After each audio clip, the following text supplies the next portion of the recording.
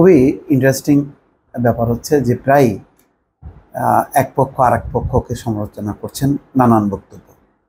এটা ভালো যে এই ধরনের এক ধরনের আলোচনা চলছে, পাল্টাপাল্টি চলছে। এটা যাতে এইভাবেই চলতে থাকে।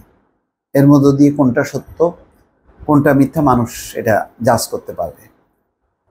প্রেস সচিব, প্রধান উপদেষ্টার প্রেস সচিব বলছেন আইনজীবী জেডাই খান পান্না শোরগোল তৈরিতে ওস্তাদ। কেন বলেছেন? ওই যে উর্মি, জুনিয়র ম্যাজিস্ট্রেট উর্মি পক্ষ নেয় জেডাই খান্নার সমালোচনা করে তিনি এই কথা বলেছেন। শফিকুল আলম, প্রধান উপদেষ্টার প্রেস সচিব।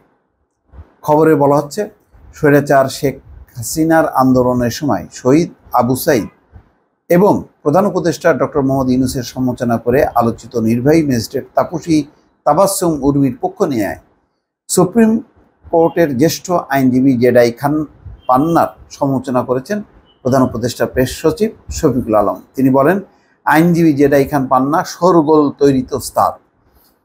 মঙ্গলবার নিজের ভেরিফাইড ফেসবুক পেজে শফিকুল আলম লিখেছেন তাবসী তাবাসুম উর্মি বাক স্বাধীনতার বলি নন।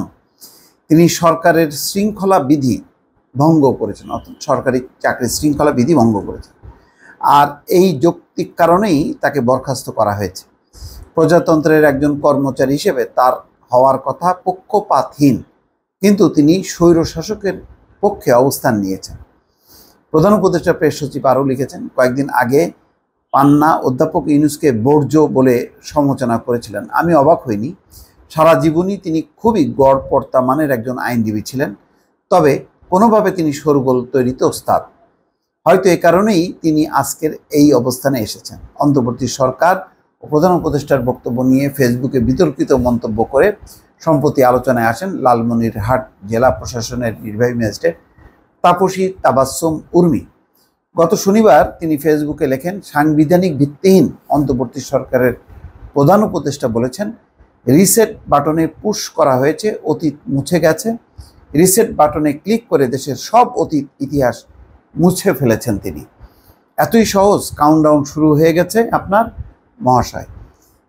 সুপ্রিম কোর্টের জ্যেষ্ঠ আইনজীবী যেটা খান পান্না সমালোচনা করে স্ট্যাটাস দেন প্রধান উপদেষ্টা, প্রেস সচিব শফিকুল আলম। যেটা খান পান্নার সমালোচনা করে প্রেস সচিব শফিকুল আলম বলেন যখন আপনি আইন ও সালিশ কেন্দ্রের মতো একটি মানবাধিকার সংস্থার চেয়ারম্যানের মতো গুরুত্বপূর্ণ দায়িত্বে থাকবেন, তখন শব্দ চয়নে আপনাকে সতর্ক থাকা উচিত।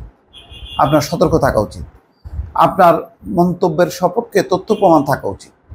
স্বৈরশাসনের সময় মানবাধিকারের বিষয়ে পান্নার তেমন কোনো ভূমিকা দেখা যায়নি। এখন তিনি ফ্যাসিস্টকে রক্ষার চেষ্টা করছেন। কয়েকদিন আগে উর্মির পক্ষে যে তার বাক স্বাধীনতা এসব বিষয় নিয়ে জোরালো বক্তব্য দেন জেডাই খান পান্না। সেটি নিয়েই শফিকুল আলম তার জবাব দিলেন এই পোস্টের মধ্য দিয়ে। দর্শক ভালো থাকবেন, আল্লাহ হাফিজ।